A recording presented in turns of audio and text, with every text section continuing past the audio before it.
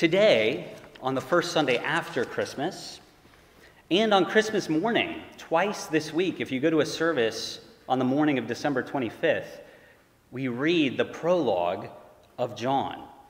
And each of the four evangelists, the four gospel writers, open their accounts of Jesus' life with their main point the lens through which they want you to read the rest of their gospel. So, Mark's gospel opens, you may remember, very quickly with the baptism of Jesus.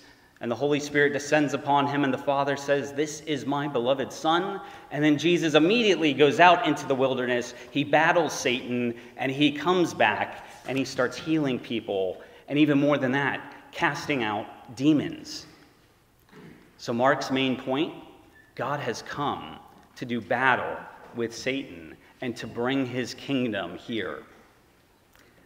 Matthew and Luke are pretty different. They open with genealogies that we tend to glaze over, but they're really important genealogies. What are they saying? Well, Matthew is saying this man, Jesus, is a bona fide son of King David. He's the person we've been waiting for, right? And Luke's main point with his genealogy and his longer story about Jesus' infancy is this is history. We didn't just make this up. This isn't a nice story. This happened. Jesus' life took place in history. We have eyewitnesses. But John takes a whole different approach when he opens his gospel, right? He opens it with this beautiful, dense, rich, textured, poem, a poem about the incarnation. And there's a lot there. But if you could boil John's point down simply, I think he'd be saying the point is God has come. God has come. Where? Here. Why? To bring light and life to you. Right? Light and life fill this poem that we call the prologue. And light's a key theme throughout John's gospel. What does light do? It helps us to see clearly. It's like eyeglasses. When I was in the first grade, my teacher noticed that I could read, but anytime I had to do anything, respond to a question that she wrote on the chalkboard, I just gave it my best guess. And a lot of times that was very wrong. This is a lot like you get an eye exam. If you've ever had an eye exam, what did they ask you? Read the smallest line that you can see. And I always feel like pressure. I need, I need to go one line down from what I can actually see. So I think A, G, I, is that an L? L. Yeah, I'm confident. That's an L. And then they say one or two, and they switch the lens. Oh, I can see now. AEDF. Okay. Right? That lens switch where you can suddenly see that is like the light of Christ that John is telling us about at Christmas. Now, one thing that light helps us to see is how God made the world and how we ought to live in it. And we call this the moral good right versus wrong. We couldn't see very clearly without this light, and humanity guessed at what was right and wrong, the right way to live and the wrong way to live, and we often got it wrong. And it's not that humans didn't care about ethics. Read some of the great classicists. They wrote a lot about morality and ethics, but they got it wrong in places. But in Jesus, finally, we can see clearly because we're not exploring our own minds and our own hunches, but we get access into the very mind of God. It's like the baptismal hymn I want to walk as a child of the light. I want to walk with Jesus. We get access, we get relationship with the maker of good, with the light himself. But I think we get this backwards sometimes, don't we? Even in the church. We think of the Christian life as kind of bland, kind of beige, kind of vanilla. And unfortunately, even in Christian circles, we communicate this, although I think we do it unwittingly. But I bet you've heard this. Have you ever been at a, a, retreat or heard a speaker say, you know, before my conversion, I lived a very colorful life, you know, back in my college years? Well, what do they mean about this colorful life? Well, they mean they made a lot of poor life decisions, right? Stereotypically, uh, um, sex, drugs, and rock and roll, right? That's kind of the, the vision we get of this colorful life. But is that really colorful? Well, what's color? It's the catching of light, right? And reflecting it back in beauty and vibrancy. It fills our life with wonder. Think of the sunset oranges and purples and reds over the green emerald waters off Highway 98 right? Or think of a great feast set out, maybe on Christmas, with lots of foods, different colors, candlelight, colored napkins. Or think of art, like the great Sistine Chapel that just overwhelms and surrounds you.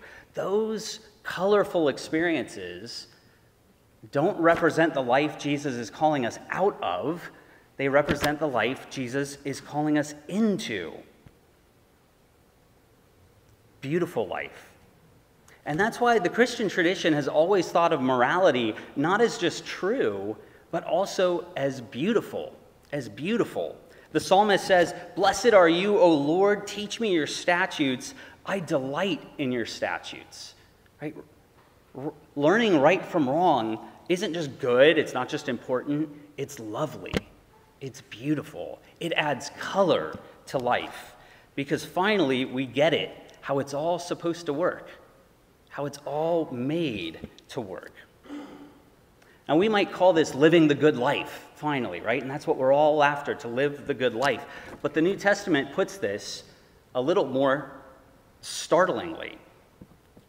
It says that Christ did come to give us the good life, yes, but in that he came to save us from slavery to sin. The wages and ultimate outcome of which is death. Every time, inevitably. So sin isn't the fun stuff that God deprives us of, it's the stuff that kills us. But Satan desperately wants to persuade us otherwise. He casts darkness where there's light to hide the reality behind evil, to make it look attractive, to make it seem colorful and exciting and worth flirting with. And he's the master of disguise, he's the master of manipulation. Paul tells us Satan masquerades as an angel of light. Right? He pretends to be Jesus. He pretends to be the one who will help us to see the world clearly. Christopher West is this great Christian teacher who goes around giving talks. And he gives us a brilliant image for this idea of the world in darkness, the world that needs light. He says it's as if the whole world is driving around in cars without any air in the tires. And of course, this ultimately damages our cars in all sorts of ways, but we've all forgotten that there's supposed to be air in the tires. And we just think that's normal. And in fact, it has become normal. And we would never think, it would never even occur to us to put air back in our tires. And if we wanted to, we wouldn't be able to. But it's the light of Christ that shows us we need air back in our tires, right? And so when, when Christ comes into the world, he's like a beautiful Aston Martin his tires pumped up 32 psi, driving down Main Street. And we see his life and think, oh, that's what driving is supposed to look like. That's what a car is supposed to do. We never thought of that. But life and light is more than just not driving around with flat tires. It's more than just learning right from wrong. God doesn't want us to just stop sinning. The light of Christ does show us morality, but if God just wanted you to stop sinning, then you could just stand there, frozen, forever, not sinning. And that would be the good life, right? But it's not. It's not. That would be like an elevator taking you from the basement to the ground floor. Right? But God wants you to go higher and higher to the top to see the beautiful view. He came to heal us from sin, and after that, to glorify us, to bring us into his life and his beauty. Jesus says, I came that they would have life and have it abundantly colorful life, joyful life, full life. So God didn't just come up with rules that we ought to follow. He says, no, listen, the cost of not following those rules is misery and anxiety and conflict and death. But I want you to live. I want you to live. So I'm giving you these rules that are a lot more like warning labels, right? You know the warning labels. Don't iron your clothes while you're wearing them. Don't stop the chainsaw with your hand. Don't make toast while you're in the bubble bath, right? And these are real labels. Don't do these things. I have some of these rules for my toddler. The biggest one is don't eat the peanut butter sandwich in one bite. And he's sure that that is trying to ruin his joy so that he lives a boring life eating peanut butter sandwiches one bite at a time. But that's not why I have the rule. I have the rule so he'll live because I want to live with him.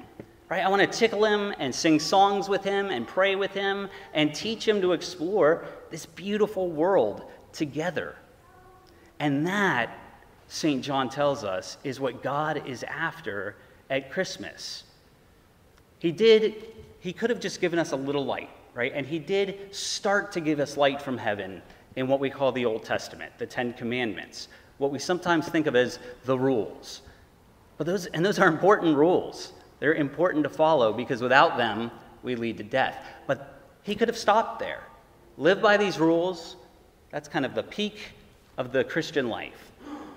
But that's not what he's after. He's not after rule followers, he's after life and relationship.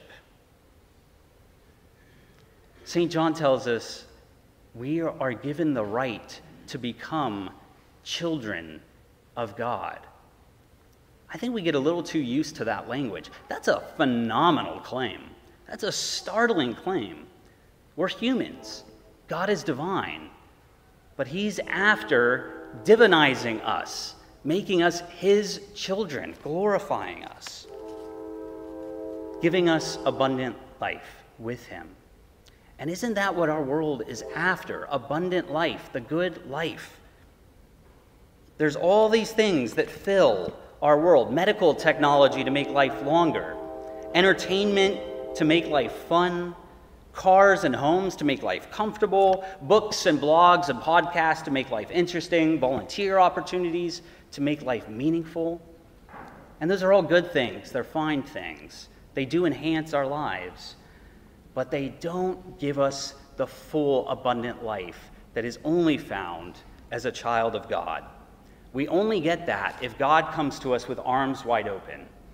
And today's reading says Jesus has come to you with arms wide open. He wants life with you. So, this light of Christ, it shows us the moral good, how to live, but it also shows us God Himself. We've seen His glory, St. John writes today, and he gave us the power to become his children. And children, over time, get to know their father. They know his habits, they know his routines, they know his motivations, they know his heart, they know his mind.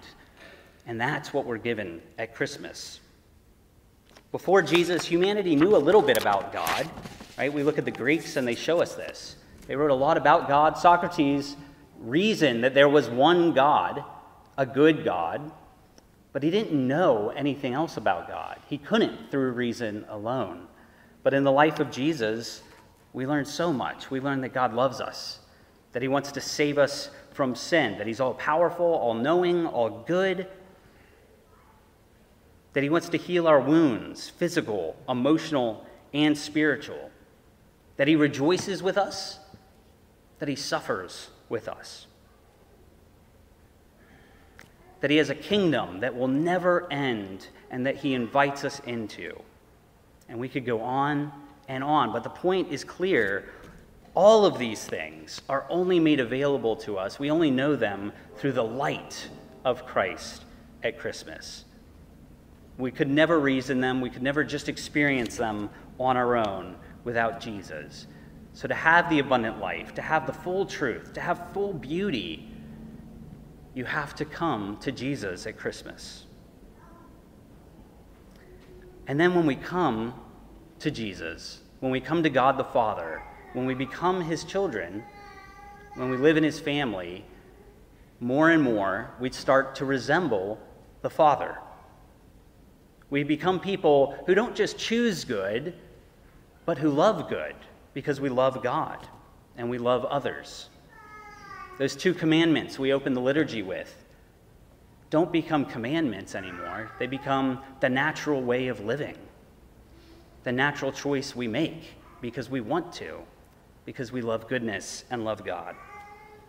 And I imagine each of you know that and have experienced that. But if you don't know that, if you haven't experienced that transformation, or maybe you did, maybe you had a strong conversion years ago, you felt spiritually awake and alive, but you haven't really felt that way lately.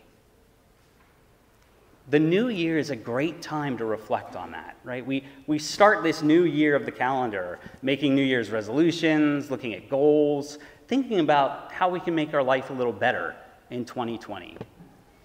Well, wherever you are, but particularly if you, you're not feeling spiritually connected, spiritually healthy, spiritually awake, take some time over the next few days as you prepare for this new year.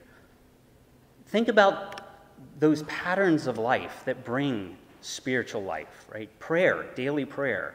Praying in the morning and at noon at lunchtime and at night before bed is, an, is a powerful and easy pattern of prayer that we can all step into. And you can do that with the prayers in our prayer book. You can do that with your own prayers.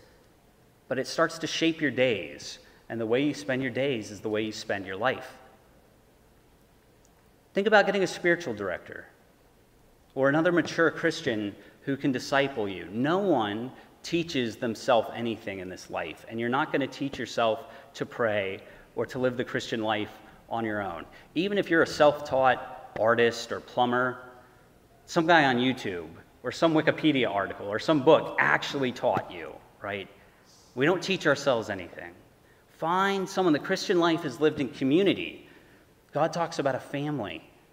Right? It's not a philosophy that we can sit on our own and just kind of meditate on.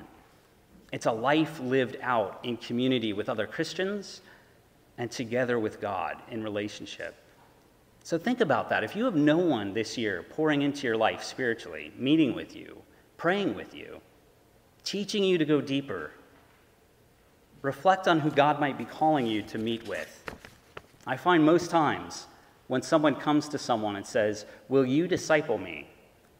Even if they're busy, they say yes, because it's one of the joys of their busy life is to sit and share the Christian life with someone. And we're transformed by that, right? The converted heart is a changed heart. And that means when we're transformed, we become people capable of loving God and loving others like God loves them. We become bearers of this light in the world the way we think, the way we speak, the way we parent, the way we work, the way we interact with strangers in public. Everywhere we go, we're like a floodlight in a dark world.